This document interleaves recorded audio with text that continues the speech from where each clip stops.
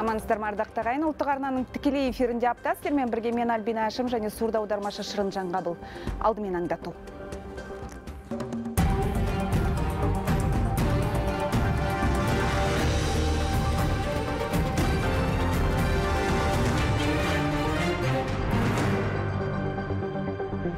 Үлкен қаладағы күйбең тіршілік жертөленіп паналаған жастар. Еңбек етіп нан табуға келген адамдардың міне. Енді жас бала жиырмаға келді. Енді ғана өмірін бастап жатқан адам міне. Өмірден ерте өтіп кетті осы халықтың киер киімі ішерасы бірдей болғанмен құлқы бірдей бола ма? Көркем әдебиеттегі көріністен өмірдегісі әлдеқайда ащы сияқты. Бұл трагедия мораторийдің екінші жағы бар екенін тағы бір еске салды.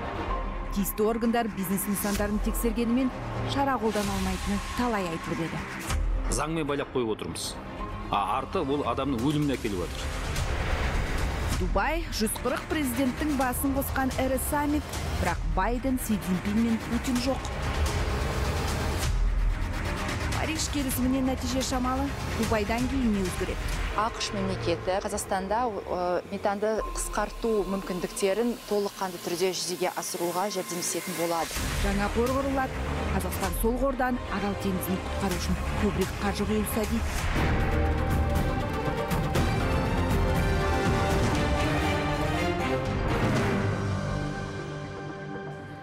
Бейсенбі таңы қайғылы хабармен атты.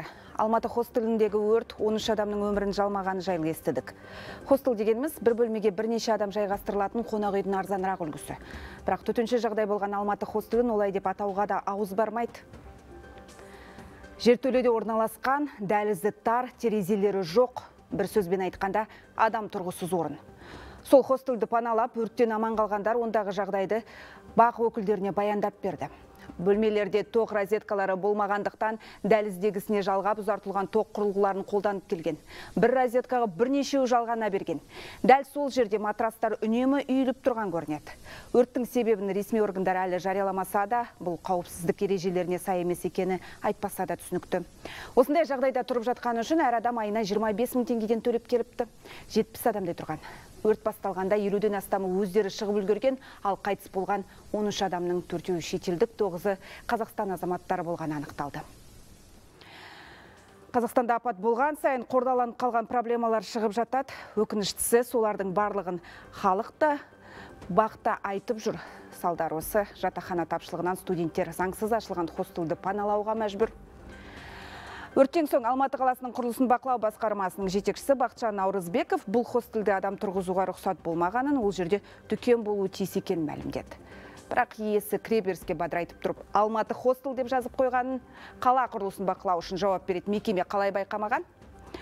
Жертөлені жалғалы бір жарым ай бұрын заңсыз хостел ашып қойған Мұхамедияров ұсталыпты, қылмыстық істе қозғалды. Әр апат сайын құрылатын үкіметаралық комиссия бұл жолы да құрылды. Сол хостелде тұрып келген 56 адам уақытша мектепке орналастырылған. Президент Қасым Жомарт Тоқаев өрттен қаза тапқан азаматтардың отбасыларына көңіл айтып, үкіметке оларға қажет көмекті көрсетуге тапсырды.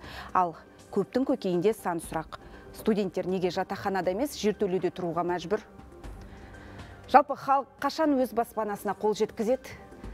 Пәтер сатып алу неліктен қиын және құны қандай шығындардан құрылады деген сауалдарға жауап іздеп материал әзірледік. Біраздан соң назарларыңызға ұсынамыз.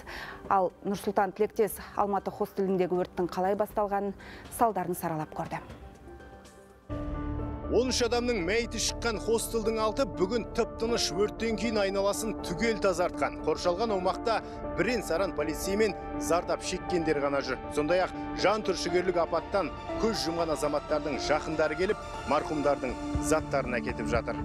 Оқыс жағдайдың хронологиясына тоқталсақ, өрт таңғы бестің шамасында жертөледегі көрпешенің тұтануынан басталуы мүмкін. Төтенше жағдайлар департаментінің өкілдері осылай топшылады. Өрт сөндірушілерге қоңырау таңғы бестен 33 кеткенде түскен. Ол кезде ғимарат ішіндегі 72 адам жанталасып, сыртқа шығуға әрекеттеніп жатқан. Олардың 59-ы эвакуацияланды, 4 адам ауруханаға түсті. Жертөленің терезесі болмағандықтан шығарға жол таппаған 13 адам газдан уланып қаза тапты. Полицияның соңғы ақпары бойынша тілсіз жаудан тіл тартпай кеткендердің 9-ы қазақстандық, екеуі Өзбекстан және екеуі Ресей азаматы. Тірі қалған куәгерлер жертөледегі адамдардың аман қалуы мүмкін болмады дейді. шанс болған жоқ өйткені түтін жаңағы от шығу қиын болды біз енді ғана жанып атқан кезде шыққан өзінде бізге қиын болды. Хостел үш қабатты тұрғын үйдің жертөлесімен бірінші қабатында орналасқан. 500 шаршы метр жатақхананы қанша адамның паналап келгені белгісіз. Дәлізде бөлмесі де тар хостелда екі қабатты кереуеттер қойылып бір бөлмеде 5-6 адамнан тұрған. Әкімдік жатақхана бір жарым айдан бері заңсыз жұмыс істеп келген. Ешқандай рұқсат бермедік деп отыр. В подвальных этажах размещение постояльцев запрещено. То есть разрешено в смысле переоборудовать, привести санитарными нормами, но остался вопрос, связанный, э, можно ли было, это, сколько людей размещалось и почему не размещали. Ну вот сейчас разбираться будет в смысле следующих қызыл жалын хостелдің 30 шаршы метрін шарпыған. Қабырғалар ішіндегі жиһаз тіпті еденге дейін түгел жанып кеткен. Куәгерлердің сөзінше ғимарат ішіндегі қауіпсіздік мәселесі қарастырылмаған. Бұдан қалалық төтенше жағдайлар департаменті де төтенше жағдайлар министрлігі де бейхабар болған. Мораторийға байланысты орта және кіші бизнесті тексеру бізге рұқсат болмаған себептен біз ондай мониторингті жүргізе алмадық. Қаншама хостел бар екен бізде ондай ақпарат бар бірақ та ол ақпарат бойынша мына айтылған хостел. Оның ішінде болмаған. Хостел халықбанктің халық гроп еншілес компаниясына тиесілі екен. Қаржылық ұйым өртке қатысты пікір білдірді. Үй жай биылғы жылдың 21 қыркүйегінде жалдау шарты бойынша ала хостел серіктестігіне берілген. Оған дейін ғимаратты ешкім пайдаланбаған. Заңсыз ашылған хостелдегі өрттен құрбан болғандардың басым бөлігі жастар олардың дені студенттер мен жалдамалы жұмысшылар. Ғылым және жоғары білім министрлігі аталған хостелмен арада ешқандай келісімшарт болмағанын мәлімдеді. Студенттерді көрсетілген хостелге орналастыру жүргізілген жоқ. Біздің мәліметтеріміз бойынша бұл хостелдің тұрғындары жеке жалдау компаниясымен ынтымақтастық арқылы өз бетінше келісімшарттар жасасты. Бүгінгі таңда жоғары оқу орындары 87 нысанды жалға алды. Өрттен көз жұмған азаматтардың жақындары ата аналары сол күні таңертеңнен кешке дейін мәйітхананың есігін күзетумен болды. Мен енді осында нағашым баласына келіп отырмын. Мәлібек бейбарыс мұсау 2003 жылғы жас бала еңбек етіп нан табуға келген адамдардың енді жас бала жиырмаға келді. Енді ғана өмірін бастап жатқан адам міне. Өмірден ерте өтіп кетті бәріміз қабырғамыз қайыстырып отыр. Ал кейбір басылымдар қаза тапқандар тізімінде болған бір азамат тірі болып шықты деген ақпарат таратып жатыр. Түркістан облысының тумасы рамазан әмірәлі сол хостелде тұрған бірақ өрт болғанға дейін бірнеше күн бұрын әке шешесінің шақыртуымен дербісек ауылына қайтқан. Тіпті желіде бәрі марқұм санаған жігіттің видеосы да тарады. Бірақ тиісті органдар әзірге бұл жайтқа қатысты ресми ақпарат берген жоқ. Әрі жарияланған тізімдегі 13 адамның ішінде бұл жігіттің аты жөні жоқ. Жаңа туған күнің енді туған күнін атап өтесің әшейін бір ауыл емес бүткіл республика шулы бар бас прокуратураның тапсырмасымен арнайы прокурорлар арендатор яғни ала хостел серіктестігінің басшысын ұстады. Ол уақытша ұстау изоляторына қамалды. Қазір апатқа байланысты қылмыстық кодекстің өрт қауіпсіздігі талаптарын бұзу фактісі бойынша тергеу жүріп жатыр. Осы оқиғадан соң билік хостелдерді түгендей бастады. Алматыда ресми тіркелген хостелдер саны 202 жыл басынан заңсыз жұмыс істеп келген жетеу анықталған екен. Қалада тұрғын үйдің астында тұрған хостелдердің де бар екенін байқадық. Тілдескенімізде бір күн түнеп шығу 5 мың теңге ал бір айға жалдасаңыз елу мың теңге деді. Жертөлесінің терезесі жоқ жуынатын бөлмесі мен дәретханасы біреу. Женское одно осталось можно да. А мужские есть? Две комнаты пять девочек. А мужские до 10 человек. Ақысын төлесең кім екеніңе қайдан келгеніңе қарамайтын мұндай жатақханаларда студенттер де қатарлас тұрып жатыр. Ғылым және жоғары білім министрлігінің мәліметінше бүгінгі таңда алматыда 3964 студент хостелдерде тұрып жатыр. Олардың қауіпсіздігіне кім жауапты? Хостелдерді жалға барысында университет пен хостел арасында келісім шарт жасалынады.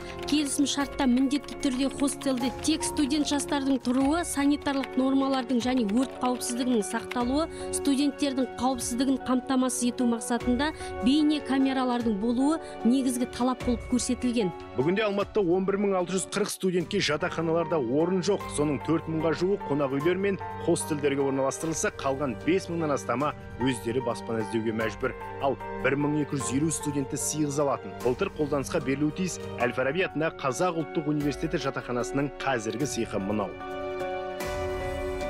Оқу орнының баспасөз қызметінің хабарлауынша университет пен инвесторлар арасындағы келісім шартта шикілік кеткен. Қазір бұл іс сотта қаралып жатыр. Сондықтан жатақхананың құрылысы басталмай жатып тоқтап қалған. Қазір университеттің 400-ден астам студенті қонақ үйлер мен хостелдерді паналап отыр. Жуырдағы өрттен соң балаларының қауіпсіздігіне алаңдаған ата аналар жалпы алматы халқы хостелдерді жаппай тексеру керек деген бастама көтерді. Нұрсұлтан тілектес бауыржан сәлмеке апта. Осы оқиғадан соң құзырлы органдар хостелдерді жаппай тексере бастады. Елордалық төтенше жағдай қызметкерлері кеше жертөледе орналасқан кейбір хостелде қауіпсіздік талаптары сақталмайтынын анықтады. Мысалы, мына хостелде қарапайым дабыл жүйесі жоқ, ал мұнда соңғы тексеру екі жыл бұрын болған. Содан бері қараусыз. Өйткені қазір шағын және орта бизнесті тексеруге мораторий бар. арыздар мен өтініштер түсетін жағдайда біз тексеріп әкімшілік іс қозғайтын боламыз профилактикалық жұмыстың нәтижесін біз қала әкімдігіне жібереміз прокуратураға жібереміз Яғни тұтынушыдан шағым түспесе мемлекеттік орган іске кірісе алмайды. Сондай шағымдар бойынша жыл басынан бері 314 нысан тексеріліп, 1700-дей заң бұзушылық анықталған. 3300-дей нысанға профилактикалық бақылау жүргізіліп, 35 мыңдай ескерту жасалған. Төтенше жағдай қызметі тексеру нәтижесінде шарада қолдана алмайды, тек рекомендация береді. Бұл да мораторий талабы. Ал кейбір мәжіліс депутаттары мен сарапшылар бизнеске осылай көмектесеміз деп адам қауіпсіздігі ұмыт қалды дегенді көптен айтып жүр. екібастұздағы жағдай маектегі жағдай қаратұрындағы апат кешегі қарағандыдағы шахтадағы мәселелер біздер олардың бәрін қорғап бизнесті дамытады деп оларды тексеруді ә, прокуратура органдары арқылы реттеп қойдық заңмен байлап қойып отырмыз а арты ол адамның өліміне әкеліп жатыр Яғни депутат заңды күшейту керек дейді. Ал кейбір қоғам белсенділері төтенше жағдай қызметін толық бақылау функциясына алып, қауіпсіздікті назарда ұстап, соған тікелей жауапты болуы тиіс деген пікірде. Бірақ ол құзыретті мемлекеттік орган шамадан тыс пайдаланбасына кім кепіл? Өткені мораторийда осы мақсатты жарияланған еді. Енді оның бітуіне бір ай қалды. Демек, келесі жылдан бастап тексерулер күшейетін түрі бар. Жалпы 4 жылдық мораторий бизнестің дамуымен қатар қауіпсіздіктің сақталуына қалай әсер етті? Амангелді Сейтхан мамандар пікірін зерделеп көрді. Шағын кәсіпкерлік, оның ішінде микрокәсіпкерлік субъектілерін тексеруге мораторий 2020 жылдың қаңтарында басталған. Өткен жылдың соңында аяқталуы тиіс еді. Алайда кәсіпкерлердің өтінішімен және бизнеске кедергі келтірмеу керек деген себеппен президент жарлығымен тағы бір жылға ұзартылған. Осылайша кәсіпкерлер төрт жылдан бері өз ісін кедергісіз жүргізіп келеді. Жауапкершілік бизнесмендердің өздерінде. Ал Қазақстанның тұтынушылар лигасы қауымдастығының төрағасы Светлана Романовская бұл жеңілдік қауіпсіздік нормаларының жиі бұзылуына әкеп соқтырды дейді он расслабил предпринимателей. Мораторий кәсіпкерлерді босаңдатып жіберді. Өйткені біздің тұтынушылар құқығын талап ете алмайды. Осы тұста қауіпсіздікке мемлекет кепіл болуы тиіс. Мемлекеттің негізгі функциясы да сол. Ал бізде жауапкершілікті кәсіпкерге беріп қойған. Мораторийді пайдаланған кейбір кәсіпкерлер ешкім тексермеген түрлі қулықтарға баратын мәжіліс депутаты таңсәуле серіков те айтты. Шахтинск қаласына қарасты шахан елді мекенінде болғанда бір қарапайым дүкенге мүгедектігі бар тұлғаларға кіріп шығатын пандустың өзі жоқ. Сонда шахтинск қаласының әкімінен сұрағанда ол жерде мораторий сол себептен біз ол дүкенге пандус салғыза алмаймыз деген. Бұл бір мысал ғана. Одан бөлек фискалдық чек бермеу тауар бағасын көрсетпеу тыйым салынған жерде газ баллонын пайдалану сияқты мысал көп. Ресми статистика бойынша 2020-21 жылдары шот фактураларды жазу тәртібін бұзуға қатысты 3 мың салық есебін дұрыс өткізбеу бойынша 16 мың іс қозғалған. Оған қоса қоғамды елең еткізген оқиғалар да жетерлік. Отравились дети. Мысалы жаппай тамақтан улану деректері аттракциондарда жарақат алатындар көп. Нақты айтсақ алматыда бассейнде балалар уланды. Басқа елден әкелінген вирус жұқтырған малдың еті сатылып кеткеннен кейін оның улы екені анықталды. Осындай мысалдар көп. Ал экономист максим барышев мораторий кәсіпкерліктің дамуына оң ықпал етті деп есептейді. Мысалы биыл кәсіпкерлік белсенділік деңгейі 90 пайызға жеткен. Елдегі шағын және орта бизнес субъектілері 2 миллионнан асқан. Оның бәрі заң бұзушы емес. Сондықтан тексеріс мәселенің шешімі емес дейді ол. Проверками э, такие так э, не спасешь. Тексеріспен адам өмірін құтқара алмайсың. Мүмкін қайғылы оқиғалардың көбеюіне мораторийдің жаңа мәселе болған шығар. Бірақ бастысы жауапкершілікті арттыратын заңдар қажет. Ұлттық экономика министрлігі өкілінің сөзінше де заң талабын бұзу мораторий кезінде көбейді деу статистикаға сай емес. Мораторийдің адамдарға былай алып келетін ешқандай қауіп қатері болған жоқ. Авариялар жана бұзушылықтар сол деңгейде екен. 19 жылмен салыстырған оның алдындағы жылмен салыстырғанда. Қалай десек те осы жылдың соңында мораторий аяқталады. Келер жылы тексерулер басталады. Ал сол кезде мемлекеттік органдар қалай жұмыс істеу керек?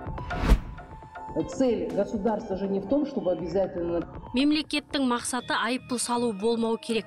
Тексерістің мәні қауіпсіздікті қамтамасыз ету. Бақылау арқылы заң бұзушылық неге болып жатқанын анықтап, оны түзеуге мүмкіндік беру. На самом деле, то, что называется проверкой... Негізі жүздеген талап бар. Егер мемлекеттік орган қателік табам десе, табат. Қазір кәсіпкерлер негізсіз тексеріс көбейіп кетпей ме деп те қорқып отыр сондықтан осы мораторий кезінде бизнесті тексеруге қатысты талаптар реттелді деді ұлттық экономика министрлігі өкілі яғни мемлекет бақылауы тиіс. Бірақ оны қалай жүзеге асырудың тәртібі енді нақтыланған. Тексерістердің кейбір салалары бүгінгі қазақстан республикасының жалпы тәртібінен алынған. Оны жана жалпы тәртіппен тексеруге болмайды 19 бақылау саласының 10 саласында біз жедел әрекет ету шараларын белгілеп жатырмыз ол дегеніңіз не? Мысалға мемлекеттік қадағалау деген ұғым бар ал оны қалай жүзеге асыру туралы жаңағыдай мемлекеттің мемлекеттік органның құқықтары тәртібі жедел әрекет ету шараларында жазылады. Одан бөлек тексеріс кезінде сыбайлас жемқорлықтың алдын алу үшін енді нысандар автоматты жүйе арқылы анықталады. Физикалық ә, тексерулер олар тек қана тиісті автоматтандырылған жаһанды интеллектпен анықталатын адамдың қатысуынсыз осындай графигі жасалатын болады. Бизнесті тексеру талаптары екі есе азаймақ. Яғни кәсіпке кедергі келтіретін қауіптер барынша кеміп жатыр. Ал енді кәсіпкердің керегі өз ісіне деген жауапкершілік. Айта кетейік бұл заң жобасы бірінші оқылымда мақұлданған. Қазір екінші оқылымға дайындалуда. Осы уақыт аралығында депутаттар мен қоғам белсенділерінен бір жарым мың ұсыныс түскен. Көбі тұтынушылардың қауіпсіздігін сақтауға қатысты. Амангелді зитхан апта. Қазан соңында болған тағы бір қаза қарағанды шахтасындағы апатқа да тоқталсақ 46 кеншінің өліміне себеп болған кезекті трагедиядан соң қазақстан арселормитталмен байланысты түбегейлі үзу туралы шешкені белгілі. Осы апта өнеркәсіп және құрылыс министрлігі келісім аяқталуға жақын екенін мәлімдеді. Бұған дейін үкімет жаңа инвестор іздеп жатқанын және оған қандай талаптар қоятынын жариялаған еді. Жаңа инвестор 1 миллиард долларды бірден 3-5 жыл аралығында 3 миллиард долларды құйып өндірісті қауіпсіздікті қаржыландыру кестесін орындауы өнімдер ассортиментінің ұлғаюын жұмыс орындарын сақтауы кәсіпорын айналасында басқа да өндірісті шағын және орта бизнесті дамытуы керек. Аптадан ары қарай көретініңіз. Баспаналы болу жылдан жылға қиындап барады. Отбасы кемі 205 мың теңге ай сайын депозитке салып отыру керек. Қосымша пәтердің ақысы бар жалдамалы 200 дейік өздерінің шығындары бар. Несие шарттары да нарықтағы бағада құбылып тұрады. Бизнесті ұнатып болмаса комфортты ұнаттағы үйдің бағасына сен мынадан асыра алмайсың деген оны мемлекет қоя алмайды. Сонда не істемек керек? Пәтердің құны шынайы шығыннан қанша есе көп?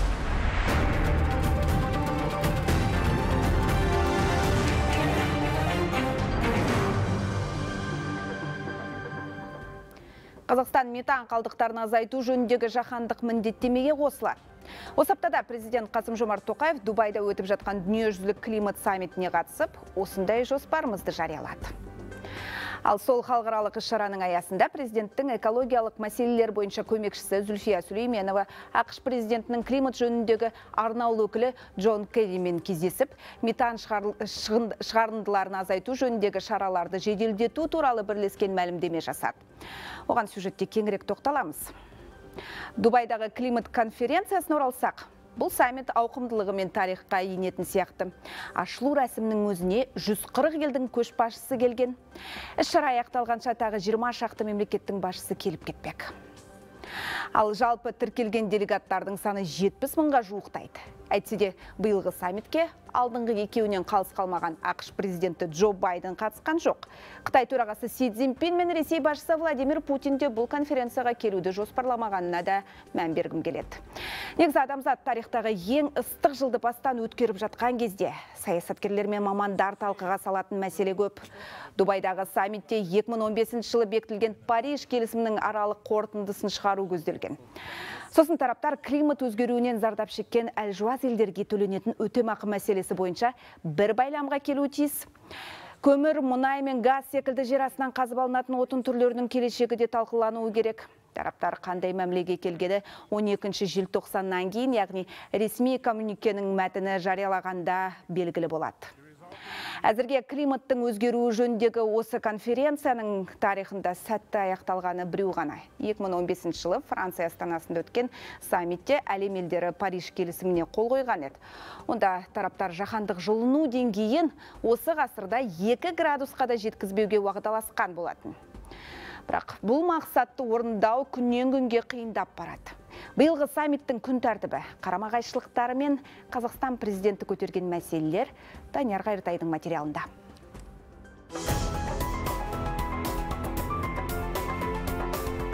Біріккен ұлттар ұйымының климаттық саммиті 1995 жылдан бері ұйымдастырылып келеді. Көбінесе мемлекеттер басшылар бастап келетін делегацияларды жыл сайын әлемнің әртүрлі қаласы қабылдайды. Биылғы 28 саммит Дубайда өтіп жатыр. Климат конференциясын мұнай тасымалы бойынша топ алтылыққа кіретін елде өткізуге тараптар екі жыл бұрын келіскен еді. Мұндай саммит бұған дейін де ОПЕКке мүше екі елде өткен еді. Сондықтан ешкім қарсылық таныта қоймады. Дау осы жылдың басында конференцияның президенті ретінде Абу-Даби ұлттық мұнай компаниясының төрағасы Сұлтан Ахмет Әл-Жабер тағайындалғанда басталды. ақш пен Еуропа депутаттары біріккен ұлттар ұйымына хат жазып, Әл-Жаберді климат конференциясынан аластатуды талап етті. Себебі бұл шешімде мүдделері қақтығысы бар деді олар. Әйтсе де бұл талапқа көне қалған ешкім жоқ сонымен екі ұшты 28-ші климат конференциясы немесе коп 28 осы аптада салтанатты түрде ашылды. Оған 140 елдің көшбасшысы келді. Оның ішінде қазақстан президенті де бар. Мемлекет басшысы қасым жомарт тоқаевты араб әмірліктерінің президенті мен біріккен ұлттар ұйымының бас хатшысы қарсы алды. Ашылу рәсімінде елдің президенті шейх мұхаммед бен заид әл нахаян ұлыбритания патшасы үшінші чарльз және біріккен ұлттар ұйымының бас хатшысы антонио гутерриш сөз сөйледі. Саммит алаңының иесі альтер атты жаңа қор құрылатынын мәлімдеді.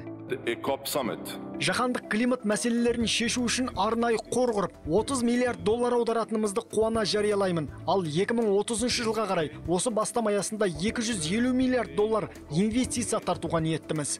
Бұл қор әлем елдері жаһандық жылынудан жапа шеккен дамушы мемлекеттерге өтемақы төлеуге әрең келісіп жатқан тұста әп сәтте құрыла салғандай көрінеді. Тараптар климат өзгерісінен қорғану үшін халықаралық қор құру туралы келісімді осы жолы әйтеуір мақұлдады. Сарапшылар мұны тарихи шешім деп бағалады. Себебі батыс елдері осындай қор арқылы экономикасы төмен елдерге көмектесеміз деп 2009 жылдан бері уәде беріп келген еді.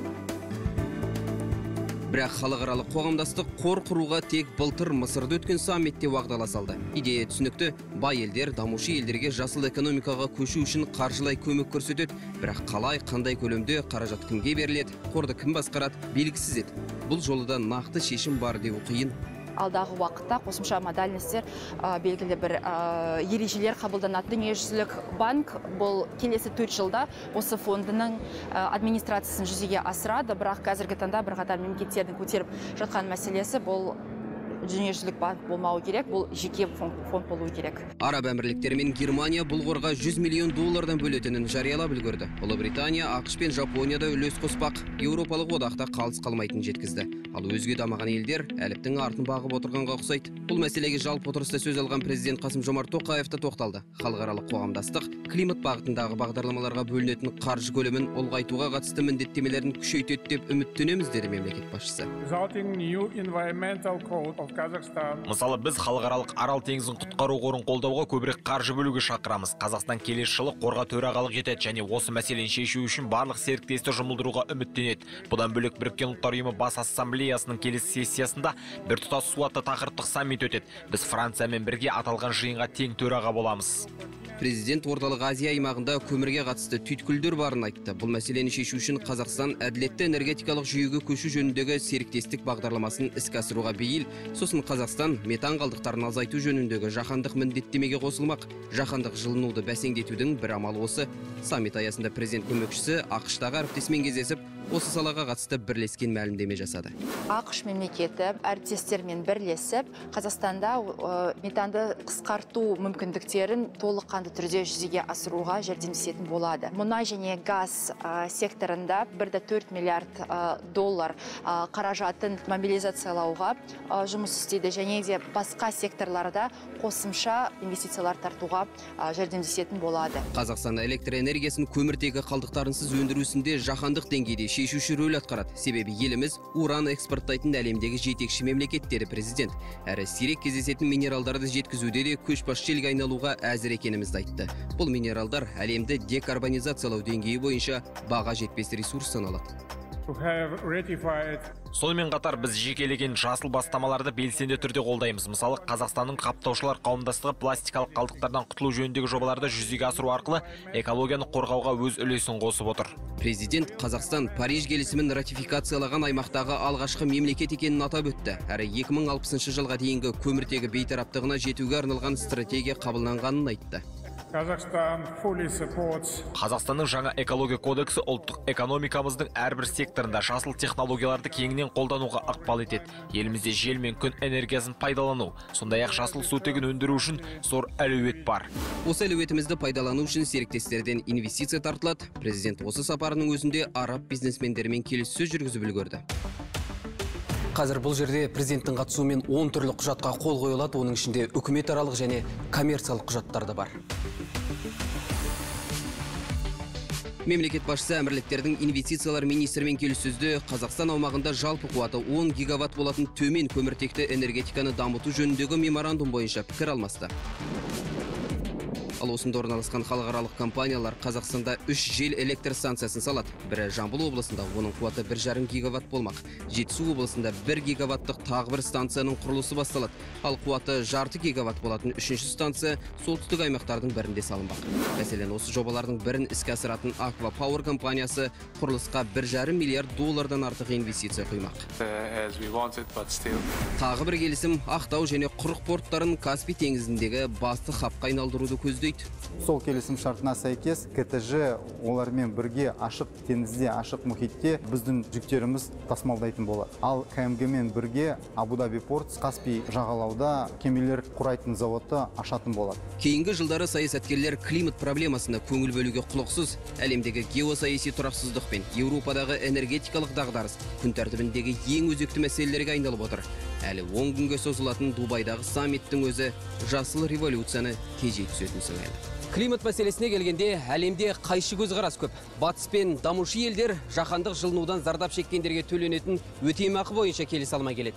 Тағы да сол батыс пен мұнай экспорттаушы елдер арасында мұнай мен газдан бас тартуға қатысты дау бар. Ал бұл саммит келіспеушілікті үдете түскен сияқты. Себебі биылғы жиын мұнай тасымалы бойынша жетекші елдің бірінде өтіп жатыр. Әрі жалпы конференцияға жауапты адамның өзі ірі мұнай компаниясының иесі. Әлемдік ақпарат құралдары саммитті парадокс деп бағалап жатқаны сондықтан. Данияр қайыртай бақтияр омар қуаныш ғалымұлы президент телерадио кешенінің көмегімен апта.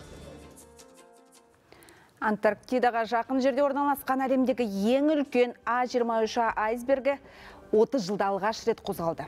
Мамандар дабыл қағатындай жағдай деп отыр. Бұл айсбергтің жалпы аумағы бір жарым мың шаршы миль ал салмағы триллион тоннаға жуық. Ғалымдар қарашаның соңында мұздың қозғала бастағанын байқапты. Ол айсберг аллеясы деп аталатын жолмен оңтүстік мұхитқа баруы мүмкін деген болжам бар. Мамандар ғаламдық жылыну жыл сайын бір жарым градус деңгейінде алға жылжып жатқанын айтып әлек. Егер осы қарқынмен кете берсе, 50 жылда мұздықтар еріп, жер шарының орташа температурасы 10-15 градусқа төмендеуі ықтимал. Ақш ғалымдардың айтуынша жер шары температурасының көтерілуінен адамдардың көпшілігі ұйқысыздықтан зардап шегіп, ағаштар климаттың өзгеруіне бейімделе алмай жойылып кетеді. Боран, дауыл, құйын, су тасқыны секілді апаттар жиілей түседі Ғалымдар мұхиттың суы мен теңіздегі мұздың азаюына қатты алаңдап отыр. Өйткені мұхиттар көмір қышқыл газдың ауаға таралатын жылуының 90%-ін өзіне сіңірет. Солтүстік Атлантикада су тымыстық біздің болжамымыздан едәуір жоғары. Бұл экологиялық жүйеге балық шаруашылығына және ауа райына әсер етеді Майкл Сперроу өндірісті күшейтіп тұрмысты жақсарту үшін технологияны дамытуға жанталасқан адамзат планетаның потенциалын шексіз көретін сияқты. Барын сарқып жатыр. Сондықтан нобель сыйлығының лауреаты уильям нортхаус экономикалық жетістікті экология таразысы арқылы өлшеуді ұсынып отыр.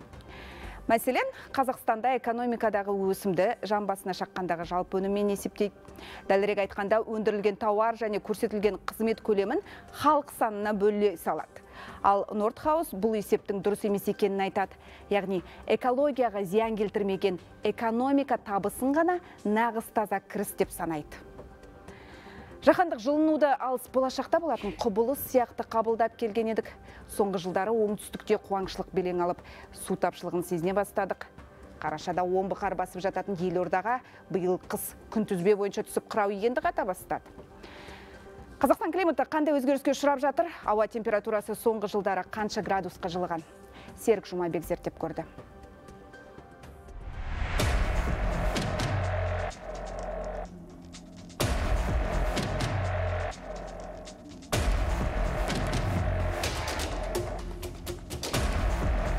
Адамзат алып мұздықтардан айырылып климаттық дағдарысқа тап болу алдында тұр. Өйткені жер планетасының атмосфералық тепе теңдігін сақтап тұрған гренландия және антарктика ғасыр соңына дейін толығымен еріп арктикада бар жоғы 520 мың шаршы шақырым ғана мұз қалуы мүмкін дейді ғалымдар. Қазірдің өзінде климат өзгеріп жатыр. Бұл тек бастау ғана. Ғаламдық жылыну дәуірі аяқталып ғаламдық қайнау дәуірі басталды. Бүкіл ел осыған дайындалып өз халқын аптаптан жойқын су тасқындары мен дауылдан қуаңшылық пен өрттерден қорғауы керек. Климат өзгерісінің салдарынан экватор мен оңтүстік солтүстік полярдың температурасының айырмашылығы азайып бара жатыр. Демек келешекте осы процесс бойынша жүріле беретін болса солтүстік аймақтардың ауа температурасы жылынып оңтүстік аймақтар қайтадан суық ауа температурасы пайда болады деген сөз. Көмір қышқыл метан және басқа да парниктік газдардың көп мөлшерде ауаға таралуы жаһанды жылытып жатқан көрінеді. Біріккен ұлттар ұйымы қазақстан зиянды қалдықтардың 80 пайызын ауаға шығарып отыр деп мәлімдесе ақш ғалымдары егер қазақстан көмір қышқыл газдардың ауаға таралуын азайтпаса 2100 жылға қарай елдің ауа температурасы 5,2 цельсий артуы мүмкін деп болжайды. Ауаға шығатын көмірқышқыл газының концентрациясы күрт өсе бастады. Оны жалпы әлемдегі мынау гидрометтердің станциялары да дәлелдеп отыр. Сондай ақ мына орталық азиядағы гидрометтердің ресми дерегіне қарайтын болсақ мына қазақстанның өзінде қысқы уақыттарда температура төрт градусқа өскен жалпы жылдық жаңа температураны алатын болсақ бірде бір градусқа өскен. Өндіріс орындарынан бөлек автокөліктерден шыққан зиянды заттар да ауаны ластап жатыр. 1960 жылдары кеңес ақш және жапон ғалымдары ауа екі есе ластанса климат 2 градусқа жылиды деп болжам жасаған. Расымен де қазақстанда тіркелген 4,5 миллион автокөліктің 60 пайыздан астамы ескі екенін ескерсек шығын шаш етектен тағы бір маңызды мәселе. Ғаламдық жылыну процесі қазақстанда екі есе жылдам жүреді дейді экологтар. Себебі қазақстан орталық азиядағы аридті зоналарға жатады. Бізде ауа құрғақ су мөлшері тапшы сондықтан климат өзгерісінің байланысына ерекше әсеріне ерекше ұшырайды. Мысалы осы әзірге дейін 80 жылдардан бері қарай жер жүзіндегі температура 0,8 градус өрлесе қазақстанда 1,5 градусқа артқан. Жаһандық жылынудың салдары тұщы су қорына да айтарлықтай әсер етіп отыр. Қазірдің өзінде әлем халқының 70 пайызы ауыз суға зәру. Елімізде 39 мың өзен мен су арнасы 48 мыңдай көл бола тұра. Су қорының жетіспеушілігі бізде де анық байқалады тоқсаныншы жылдардың басында қазақстанда жер үсті суының көлемі ағып келетін өзен суларының теңі бір жүз жиырма куб километр дейді. Қазір шамамен келгенде жүз төрт дейді. Яғни отыз қырық жылда жиырма куб километр азайған деп не біз осы оңтүстік аудандарда зерттеулер жүргізгенімізде он күннен отыз күнге дейін су тасудың басталу мерзімдері алға жылжып кеткен. Қазақстанның бар су ресурстары жүз текше километрдің айналасында ол жүздің елуге жуығы шеттен келеді. Соның жиырма бес текше километрі тек қана ертіс алабында егер ғаламдық жылыну жалғаса берсе алдағы уақытта су тапшылығы үлкен геосаяси тартыс алаңына айналуы ықтимал. Яғни бұлақтың басында кім отырса судың қожайыны сол болады деген қағида қалыптасуы мүмкін. Жаһандық климаттың өзгеруі ол біздің су ресурстарына қатты әсерін тигізіп жатыр мысалы ертіс шу іле талас сол сияқты сырдария жайық өзендері ол республиканың төменгі ағысында орналасқандықтан жаңа көрші елдердің ағынына қатты тәуелді. География және су қауіпсіздігі институты 2030 жылға қарай елімізде су тапшылығы болады деп болжайды. Бірақ су қорының нақты есебін ешкім білмейді. Бүгінгі таңда біздің қазақстанда судың есебі жоқ. Нақты есебін ешкім білмейді. Судың өлше, өлшеу құралдары үлкен өзендерде ғана сақталып қалған. Тоқсаныншы жылдардағы елу кубик километр су бар дегенде жаңағы сол цифр әлі күнге дейін қалып қойған. Өзен көлдердің бассейніне мына соңғы елу жылда ғылыми негіздік зерттеулер жүргізілмеген. Негізі ә, жағдай бар кезде 5 жылды бір период ретінде онда тексеріс жүргізіп отыру ондай болмағанда ең кемінде 10 жылды бір период ішінде осыған бір тексеру негіз ғылыми негіздік зерттеулер жүргізіп отыру керек. Еліміздегі ең үлкен сегіз өзеннің жетеуі трансшекаралық аймақта жатыр. Біздегі ағынды судың алпыс алты пайызы ауыл шаруашылығына жұмсалады. Егер су тапшылығы болса жерді құрғақшылық басып қуаңшылық жайлауы мүмкін. Бұл алдымен азық түлік қауіпсіздігіне қатер төндіреді ауыл шаруашылығына мал ұстауға да егін егуге де қолайлы деп есептелетін павлодар облысының өзі де биыл қатты ыстық болған мөлшерден ыстық болғанын біз де байқап отырмыз. Содан кейін өздеріңіз білесіздер жамбыл облысындағы биыл судың жетіспеушілігінен ол жаққа білесіздер үкімет өз тарапынан үш те жеті миллиард теңге жаңағы шаруалардың шығынын өтеу үшін бөлінген болатын. Соңғы елу жылда біздің шөлейттену процесі қазір алпыс проценттен асып кетті бұл өте қорқынышты көрсеткіш. Бұрын енді батыс аймақтар болатын қазір мына жетісу өңірінің өзінде мысалы талдықорғанның маңайының өзінде қазір шөлейттену процесі тездеп жүріп бара жатыр. Жаһандық жылынудың салдары бұл ғана емес соңғы бір ғасырда жануарлар дүниесінің 25 құстардың 12 пайызы жойылып кеткен. Тіпті ғалымдар алдағы елу жылда жануарлардан адамға жұғатын вирустар саны 10 мыңға жетуі мүмкін дейді. Климаттың жылынуы ол осы инфекционды жедел респираторлы вирустық инфекциялардың одан да тезірек және оңай жолмен таралуына себеп болатын негізгі оңтайлы қолайлы жағдай деп айтуға болады. Әлем таза энергия көздеріне көшу арқылы жерді аптап ыстықтан құтқаруға кірісті. Мысалы данияда 2030 жылдан бастап бензин немесе дизельмен жүретін автокөліктерді тіркеуге тыйым салынбақ. Тіпті үндістан 2033 жылға қарай толық электромобильге көшу мақсатын қойып отыр. Ал біздің жоспар? Қазақстан 363 миллион тонна СО2 лақтырып отыр ауаға иә? Оны азайтудың үш жолы бар. Бірінші жолы фильтрлар қою керек. Екінші жолы ағаш отырғызуымыз керек.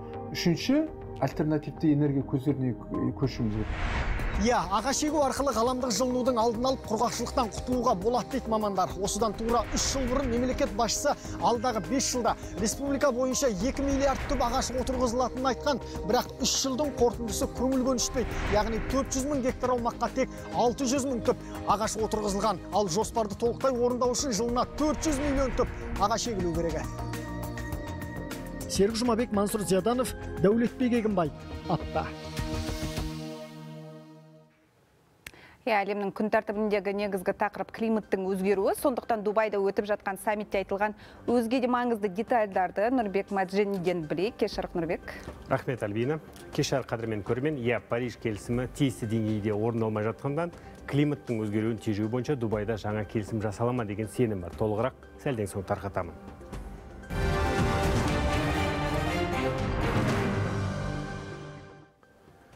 Дубайда өтіп жатқан климаттың өзгеруі жөнінде саммитке әртүрлі елден 70 мыңнан астам адам жиналған. Басты мақсат жаһандық жылынудың алдын алатын келісімге келу. Біріккен ұлттар ұйымы әлем лидерлерін климат жөнінде мәселеге алғаш рет жинап отырған жоқ. Осыдан 8 жыл бұрын Парижде парник газдарын шығартуды азайтуға байланысты жаһандық орташа температура өсуін 1,5-2 градустан асырмауды мақсат ете қойған еді.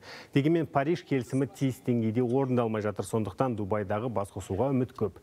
Дүниежүзілік метеорология ұйымы 2020 2023 жылды әлем тарихындағы ең ыстық жыл болды деген қорытындыға келді. Жыл соңына дейін жаһандық жылынудың деңгейі 1,4 градусқа жетеді. Ал осыған дейінгі ең ыстық жыл ретінде 2016 жыл тіркелген еді. Дубайда өтіп жатқан саммит аясында климаттың өзгеруінен зардап шеккен елдерге көмек көрсететін арнайы қор құрылды. ақш ұлыбритания біріккен араб әмірліктері сияқты елдер қорға ондаған миллион доллар қаржы бөлуге уәде етті одан бөлек біріккен ұлттар біріккен араб әмірліктері президенті жаһандық климаттық шешімдер үшін көлемі 30 миллиард доллар қор құратын жариялады. Әрине бұл жаһандық проблеманы шешу жолындағы жақсы жаңалық дегенмен осы саладағы кейбір сарапшылар бөлінген қаражаттың тиімді жұмсалуына қатысты алаңдап отыр. Саммит 12 желтоқсанда аяқталады дегенмен қазірдің өзінде бірнеше маңызды ұсыныстар мен мәлімдемелер айтылды. Мысалы біріккен ұлттар ұйымының бас хатшысы антонио гутерриш қазбалы отынды өндіруді тоқтатуға шақырды. Ұлыбритания патшасы үшінші карл табиғи процестерді қалпына келтірмесек өмірімізге тікелей қауіп төнеді десе премьер министр риши сунак елде жел электр станциясын салуға 11 миллиард фунт стерлинг бөлінетінін хабарлады. Бразилия президенті амазонка аймағындағы құрғақшылық мәселесін көтерді. Кения президенті африкада энергетика саласына инвестиция жетіспеуі салдарынан 600 миллион адам электр қуатына қол жеткізе алмай отырғанын айтты. Жалпы жиынға қатысушылар негізінен қалпына келетін энергия көзінің қуатын үш есеге қуат көзін тиімді пайдалануды екі есеге арттыруды және азық түлік қауіпсіздігі бойынша ортақ келісімге келуді ұсынып отыр. Саммит бір аптаға созылады сондықтан қатысушылар ұсынысы әлі де талқыға түседі.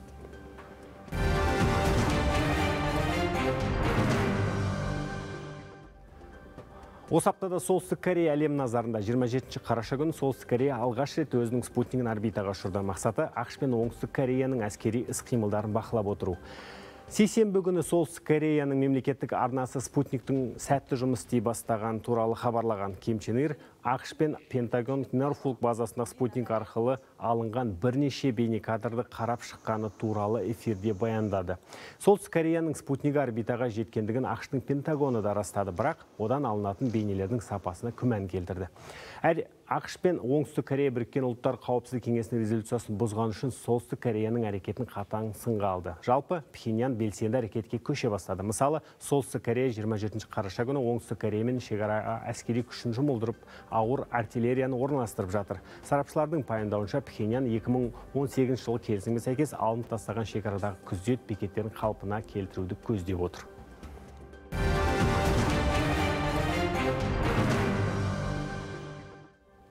Осы аптада Иранның әскери теңіз күштері Каспийдегі флотын зымырандарды ұшыруға қабілетті жойғыш кемемен толықтырды. Бұл Қазақстан, Азербайжан, Ресей, Түркменстан және Иран бөлісетін әлемдегі ең ірі ішкі айдыны Каспий теңізіндегі Иранның алтыншы әскери кемесі. Әскери кеменің теңізге түсіру рәсіміне қатысқан Иран қарулы күштер бас штабының бастығы Каспий бейбітшілік пен достық теңіз деп атады дегенмен тегеран әзербайжанды израильмен тығыз әскери байланыс үшін сынға алып келеді сонымен қатар соңғы жылдары иранның әскери кемелері ресей мен әзербайжанның әскери базаларына жақын барғаны анықталған. Сарапшылар болса әскери кемелердің көбеюі тегеранның орталық азиядағы ықпалы арттырады деген пікір айтып жатыр. Иранның каспий теңізі жағалауында әскери күшінің кеңейіп келе жатқанда назар аудару керек деп есептейді. Бұл қадам иранның стратегиялық мақсаты аймақтағы геосаяси жағдайын нығайту екенін білдіреді дейді мамандар. Жалпы иран ислам республикасы 1960 жылдардың аяғынан бастап каспий теңізіндегі әскери күшін жетілдіруге талпыныс жасап жүр. Бұл әрекет әсіресе 1990 жылдардан бастап жиі байқалып келеді. Әлем әлемнің осы аптадағы саяси экономикалық маңызды жаңалықтары осындай болды. Жақсылықта жүздескенше қадірмен көрермен.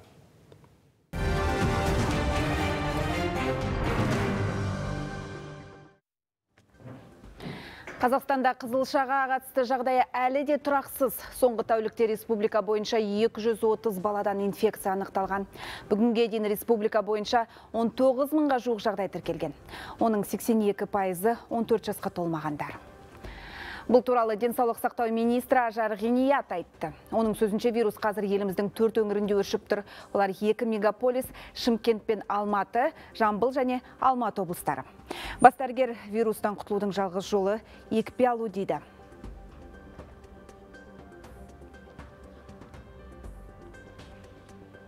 Материалды назарыңызға ұсынамыз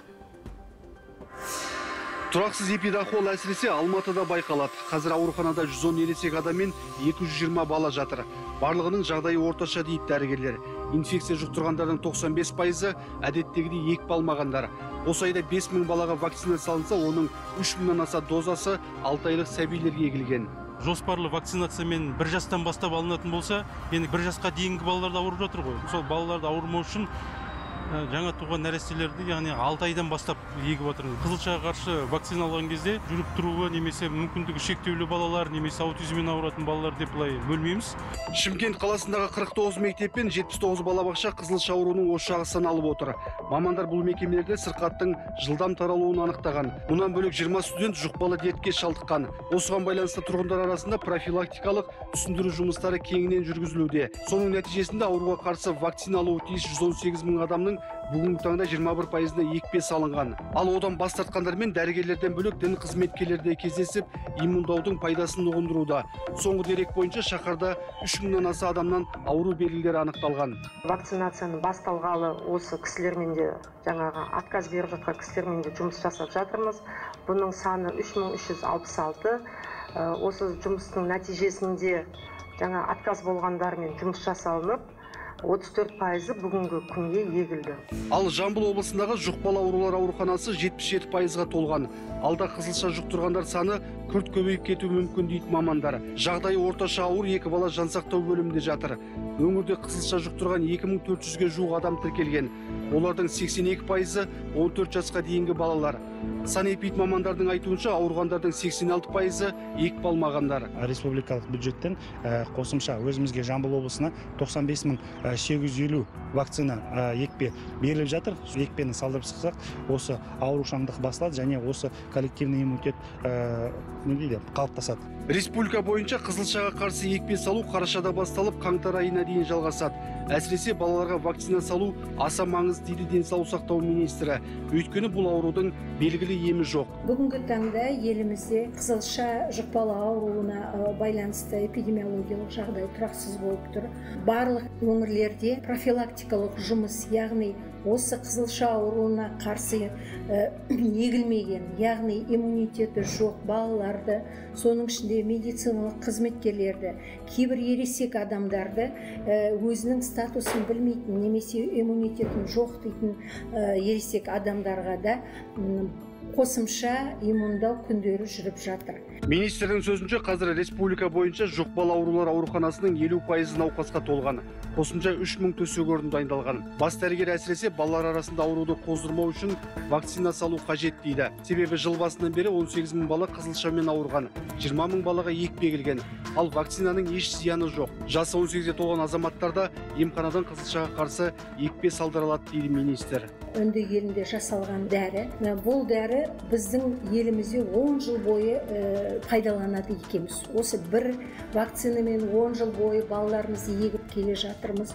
Осы 10 жылдың ішінде осы екпеге қандай да бір балалардың арасында қиын жағдайлар алғаннан кейін тіркелмеген. Сондықтан бұл вакцинаның қауіпсіз тиімді екенін айта аламын. Мамандар қызылшаның алғашқы белгісі дене қызуының көтерілуі екенін айтып жүр. Бірақ ата ананың көбі мұны суық тиюмен шатастырып жатады дейді. Өйткені бұл инфекция алдымен төрт күн дене қызуы көтеріліп содан кейін бөртпе түрінде шығады.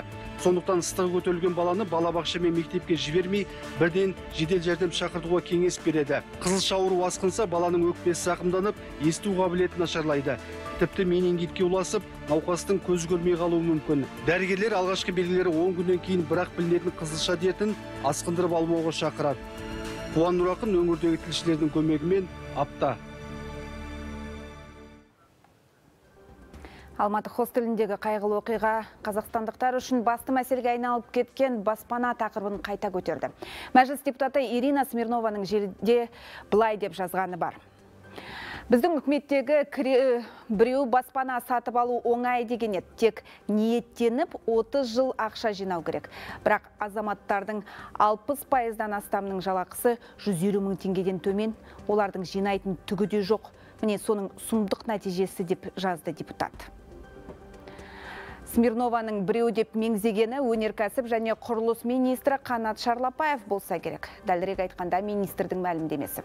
Өткен аптадағы мәжіліс отырысында депутат Дәулет Мұқаев Шарлапаевқа жастарға арналған жаңа ипотекалық бағдарлама әзірлеуді ұсынған. Себебі сатып алу құқығынсыз жалдамалы пәтер беру бағдарламасының шарттары ескіргенін де ескерткен.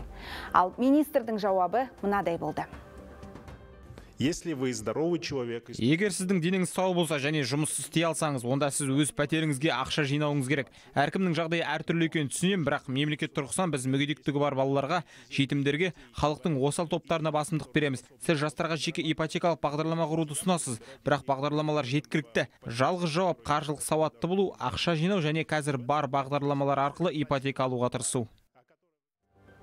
Ресми дерек бойынша Қазақстанда баспана кезегінде тұрған азаматтар саны 420 мыңға жуықтайды, ал мемлекет тарапынан жылына көптегенде 9 мың азаматқа ғана пәтер беріледі. Сарапшылардың есебінше қазақстандықтардың баспана мәселесін толықтай шешу үшін 195 миллион шаршы метр үй салынуы керек екен. Дайын баспананы алу үшін банк жағалап ипотекаға жүгінесіз, ал оның пайызы аз емес.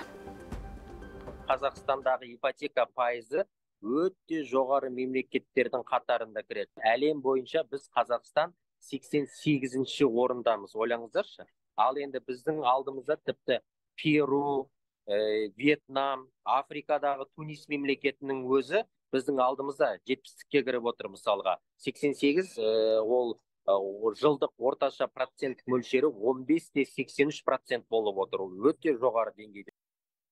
Қазіргі кезде мысалы 30 пайызын жинау үшін отбасы банкте үш жыл. Онда отбасы кемі 205 мың теңге ай сайын ә, депозитке салып отыру керек. Қосымша ә, пәтердің ақысы бар жалдамалы 200 дейік сосын коммуналдық шығындармен 250 мың дейік 450 мың кетті ма тұрақты шығындар бар өздерінің шығындары бар 250 мың теңге. Сонда бір баспананы алу үшін ә, бір отбасы кемі 650-700 мың теңге табыс табу керек. Ал сол құрылыс компаниялары баспана бағасын бекіттерде қандай талаптарға сүйенеді? Үкіметтің оны бақылауына не кедергі? Құрылыс компанияларының шығынды еселеп қайтаратыны рас па? Сарапшылар не дейді? Елдос Есенбол анықтап көрді. Соңғы 10 жылда жаңа тұрғын үйлер 85, ал қолданыстағы үйлер 112 процентке қымбаттаған жаңа тұрғын жайлар әсіресе елордада қымбат. Алдағы 5 жылда баспана бағасы өсімін тоқтатпайды ұлттық статистика бюросының дерегінше 2022 жылдың желтоқсанында қазақстандағы пәтердің бір шаршы метрінің орташа құны 437 мың теңгеге бағаланыпты. Жарты жылдан соң баға 486 мың теңгеге жеткен. 2020 жылы қаңтар айынан бастап баспана бізде көтеріліп жатыр. Бұл жерде ай сайын 3 пайыздан бағасы өсіп жатыр. Қазіргі уақытта қаңтар мен қазан айына салыстырған кезде 17 пайызға негізі өсіп отыр. Разрешили снимать пенсионные накопления. Зейнетақы жинағындағы қаражатты шешуге рұқсат беру пәтер құнының шарықтауына әкелді дәл осы шешімде елдегі ірі құрылыс компанияларының қызығушылығы болды деп ойлаймын. Азаматтар жаппай баспана сатып ала бастады. Пәтерге мұқтаж болғандықтан емес. Адамдар теңгенің болашағына күмәнмен қарайды. Оның орнына пәтер алып жалға беріп қойсам дұрыс дейді. Дегенмен freedom finance global агенттігінің дерегінше қазақстандықтардың жартысынан астамында ғана басыбайлы баспанасы бар. Оның ішінде жастардың үлесі 30 пайыз немесе 30-ға дейінгі жастардың 30 пайызында ғана тұрғын үй бар. Осы күндері прямо 260-270 300 мың теңге за квадратный метр дайын болып қойған үйді алуға да мүмкіндік бар. Бірақ 100 пайыз ақшаменен ипотека емес. Ол уже біздің осы соңғы жылдармен есептегенде соңғы 5 жылда есептегенде ең төменгі баға болып есептеледі. Яғни халық арзан үйді алғысы келсе қолма қол ақша төлеу керек. Ал оған шамасы жететіндер жоқтың қасы. Ипотеканың өзі біреулерге қолжетімсіз. 2022 жылы 100 адам ипотекаға өтініш білдірсе соның 70 жетпісіне мақұлдама берілетін. А қазіргі кезде оның көрсеткіші 30-ға түсіп кетті. Артына жеп тұрғын үй алған күннің өзінде оның бағасы қаншалықты әділ деген сұрақ сізді мазалады ма? Яғни алпауыт құрылыс компанияларының қарапайым азаматтардан түсіретін пайдасы қанша? Бизнес болмаса жоғары санаттағы үйлерде ол бірден бір жарым есе асып яғни екі есеге дейін барады мысалға. Ал енді комфорт санаттағы үйлерде ол шамамен сол 400 мың дейтін болса құрылыс компаниялары бір 250 мың теңгесін шығынға кетіретін шығар. Сонда бір 150 мың теңгедей шамамен пайдасы қалады бір шаршы метріне. Яғни сіз құны 30 миллион теңге тұратын 60 шаршы метр баспана сатып алдыңыз делік демек әр шаршы метр үшін 500 мың теңгеңізді қиясыз бірақ ол үшін кеткен шығын 250 мың теңгені құрауы мүмкін. Сонда пәтердің шынайы құны да 15 миллион теңге болады. К примеру взять город алматы там свободных земель нет. Мысалға алматыны алайық. Онда қазір бос жер жоқ. Себебі барлығы дерлік жеке меншікте. Ал құрылыс компаниясы жер иесінен сатып алғанда 100 теңгеге сатып алмайды ғой. Екі екі жарым миллиард теңге болуы мүмкін. Астанада 500 миллион мен бір жарым миллиард теңгенің аралығында. Не дегенмен компаниялардың ешқайсысы сізге кеткен қаражатты тәптіштеп түсіндірмейді. Ашық дерек көздерде де таппайсыз. Белгілісі шығынның жартысынан астамы құрылыс материалдарының еншісінде. Жиырма пайызға жуығы жұмысшылар жалақысы. Одан соң көпқабатты үй салатын орынды әзірлеу жобалау әкімшілік жұмыстардың өзі кем дегенде жарты жыл уақыт алады. Ал бұның барлығы көзге көрінбейтін шығындар дейді құрылысшылар. Те кто строит ниже либо нарықтағыдан арзанға үй сататындар кей шығындарын үнемдегендер немесе қаупі жоғары үйлер деп айтар едім. Мысалға астанадан шаршы метр 220 мың теңге тұратын баспана көрсеңіз алмауға кеңес берем. Өйткені сіз ақшасыз үйсіз қаласыз. Әлеуметтік желіде 350 мың теңге шаршы метрден деп жариялағанымен жарнама ретінде барып қарасаңыз сұрап барсаңыз үш және төрт бөлмелі пәтерлер кішкене арзандау тұрады соның бағасын әлеуметтік желіде көрсетеді. Ал қолжетімді бір бөлме екі бөлменің бағасы кәдімгідей төрт жүз төрт жүз отыз мың теңгеден шығып жатыр. Егер құрылыс компаниясы нарықта атын қалыптастырып үлгерген болса бренд салыстырмалы түрде басқа компанияларға салыстырған түрде олардың орналасқан жері классы жоғары и примерно он жиырма пайыз қосылады. Осы тұста үкімет әлеуметтік емес тұрғын үйлердің бағасын бақылай алмайды. Яғни шаршы метрдің құнын қалай бекітсе де компанияның өз еркі бұған жауапты өнеркәсіп және құрылыс министрлігінен де тиісті жауап ала алмадық. Экономисттер үкіметке компаниялардың ашықтық мәселесін реттеу керек дейді. Многие строители они не боятся налогов. Көп құрылысшылар салықтан қорықпайды. Олар қоғамның назарынан қорқады. Мен ірі құрылыс компанияларына ашықтық керек деп ойлаймын. Кеткен шығындарды жариялап отыру керек. Ал оны жасырса кәсіпкерлердің бір қорқынышы бар деген сөз. Мысалы құрылыс компаниялары заңсыз түрде шеттен жұмыс күшін тартады. Оларға жалақыны қолма қол төлейді. Оны жария қылғысы келмейді дегендей.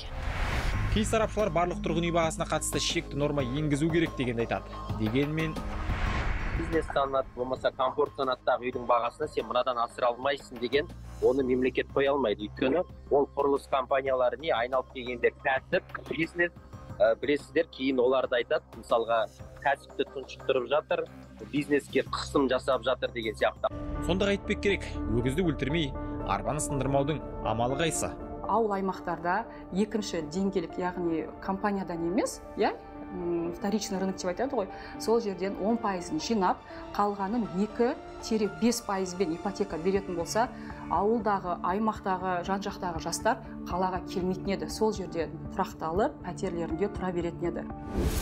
Соңғы 12 жылда ауылдан қалаға көшкендер саны 3 миллионға жуықтайды екен. Сонда жылына орта есеппен 250 мыңға жуық азамат ауыл ауданды тастап кетеді. Расында назарды өңірге бұрсақ үлкен қалада жалдамалы пәтер жағалағандар саны мүмкін азайып қалар. Елдос есебол жасұлан жақсай апта аптаны осылай қорытындыладық. Келесі жексенбі жүздескенше аман сау болайық.